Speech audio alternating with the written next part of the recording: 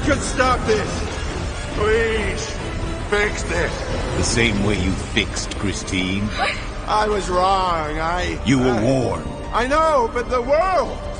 The world shouldn't pay for my arrogance.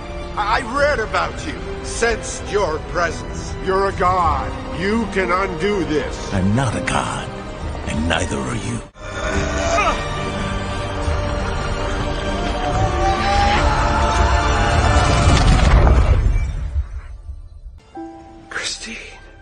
Oh no. I'm sorry. Stephen? What did you do? No, no, no, no, no.